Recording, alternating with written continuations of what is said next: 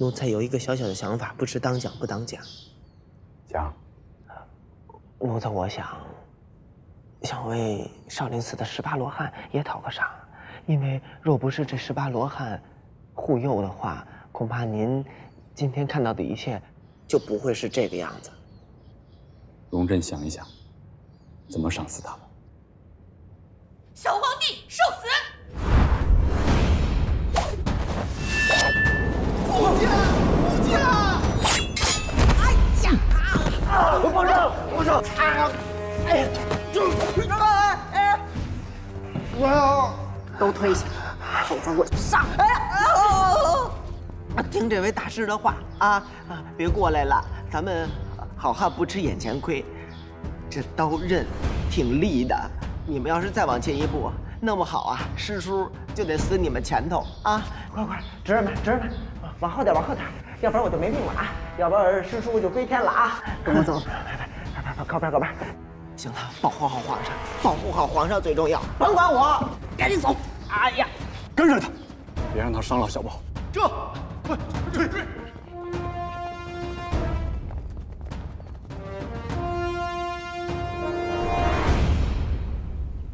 哎呀，我的大爷呗！哎，少林寺中有一门护体神功，刀枪不入。我始终不信，想不到你这小和尚得了真传。这位师太，我其实不会什么刀枪不入的武功，我我我我只不过是有一件刀枪不入的马甲。呃，我要是没了那件马甲，估计刚才您推我这么一下吧，我就直接满嘴喷血了。哼，你说话倒也老实。师太，要说您的武功简直太高强了，您是怎么做到的？从那么老高的地方直接跳下来，还没有崴到脚，而且那么迅速的就将我擒住了。您藏的地方也好，太隐蔽了，那么长时间，那么老多的侍卫，那么多的高僧，居然没有人将您发现。您是不是会穿墙术啊？你话太多了。你叫什么名字？在少林寺学艺几年了？我嗯没在少林寺学过艺，我只不过是一个来自扬州的穷苦家的孤儿。后来我就被他们掳到宫里去做了小太监。嗯，我的称号叫做小桂子。小桂子。嗯。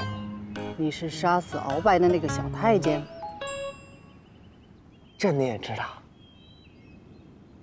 鳌拜是满洲第一勇士，你能杀得了鳌拜？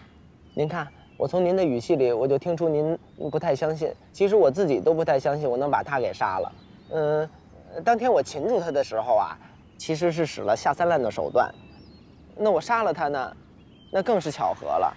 至于这来龙去脉是怎么回事呢？我，这就说来话长了。具体从哪儿说呢？啊，这儿这儿那天呀，我你话太多了。你为什么要去讨好清廷皇帝，舍命去保护他？因为，我跟他是朋友啊。你怎么会和清廷皇帝是朋友？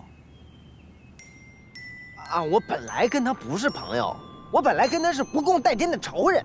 可是。可是后来我听他说，要永不加赋，爱惜百姓，今后要对天底下的老百姓好，呃，所以他在我心目中的形象一下就有一个大转弯，于是乎我就跟他成为了朋友。他说过要永不加赋，爱惜百姓，可不嘛，他说了不止几百遍了，而且他还说。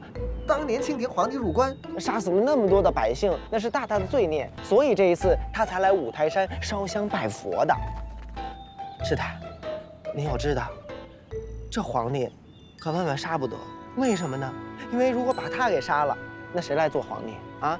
那只能是宫里的那个老太后老女人做女皇帝了。那个老太后可了不得，当年夸下海口，说要把天底下所有的汉人全都杀光。您想想。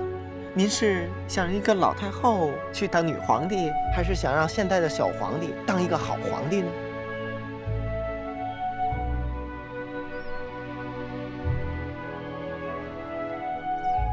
你走吧，给你些盘缠，回扬州去吧。谢谢，谢谢您啊。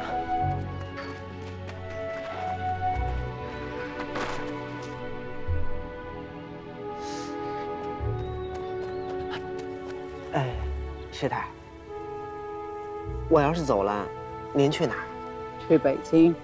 啊？那我得看着您。啊，不是，那我可得看护着您。从这里到京城的路途太遥远了。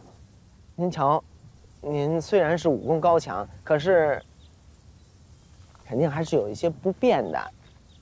您缺一个鞍前马后为您端茶倒水的人，而我，就是那个绝好的不二人选。为什么呢？因为我伺候人太有经验了，我还会捏捏。这个捏捏在我们扬州那可是祖传的绝技，我这一手可是头牌水准。